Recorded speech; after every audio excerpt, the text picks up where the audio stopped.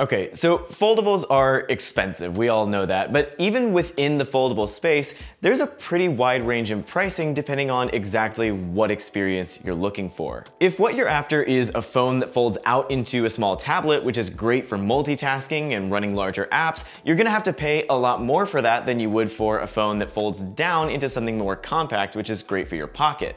This is the Galaxy Z Fold 2, and this is the Galaxy Z Flip. Each of these is what I would consider the go-to option for each foldable form factor, but of course your options don't stop at Samsung. There's also the Motorola Razr, the Huawei Mate XS, the Escobar phone, although don't, don't that one. But these are just the examples that I have with me right now, and rather than focusing on these specific devices, I wanna talk to you about why you would buy either of these form factors to begin with, and why for most people, a traditional phone with a non-folding screen is probably still the way to go, at least for now. Make sure you subscribe to the channel, and let's talk about foldables.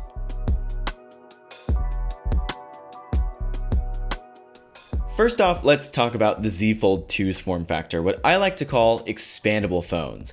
The benefits of this design are pretty straightforward. In most cases, you get a cover display that you can use like any other phone, and you can fold it out to effectively double its width and get the screen space of a small tablet.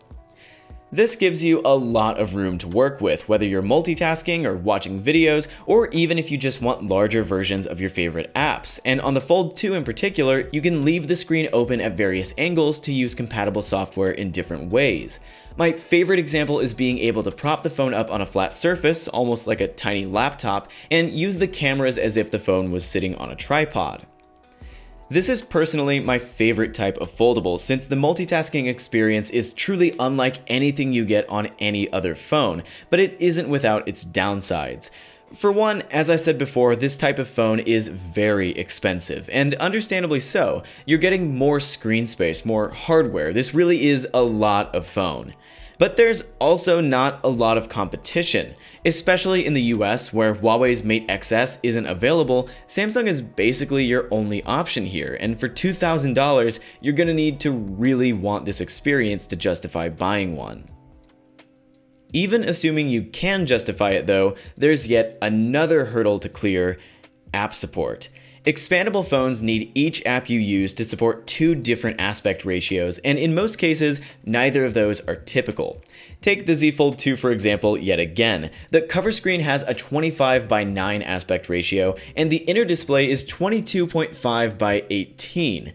That's not exactly the 16 or 18 by 9 that we're used to seeing, and it could mean you'll run into compatibility issues with your favorite apps on one or both of these screens. Instagram looks ridiculous on the Fold 2's inner display, and so does Adobe Lightroom. But that cover screen is too narrow for Lightroom, and it makes it hard to see the image I'm editing and the controls at the same time. So Lightroom, one of my favorite apps, is basically a bust on the Fold without using a third-party app to force it to fill the screen.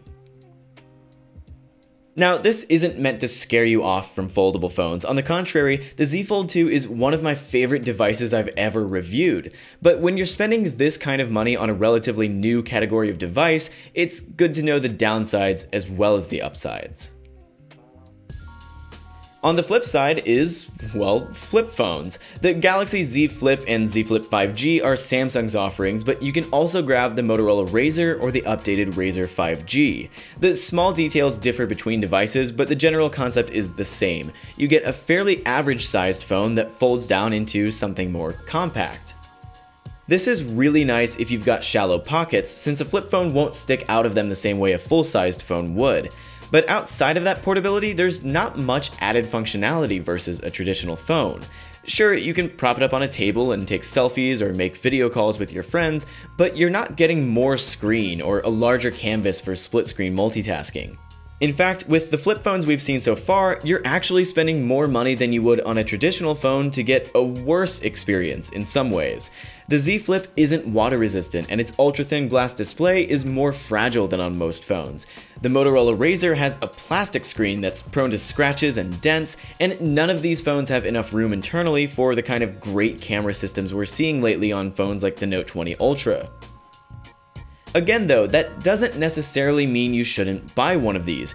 Portability isn't an insignificant feature, and those with small pockets might choose portability over the more grandiose features like the latest processor or the best possible cameras. And you know what? Flip phones are just fun, and sometimes that's good enough. Now, if you're into experimental form factors but don't necessarily trust flexible glass or plastic screens, there are also options like the LG Wing to consider.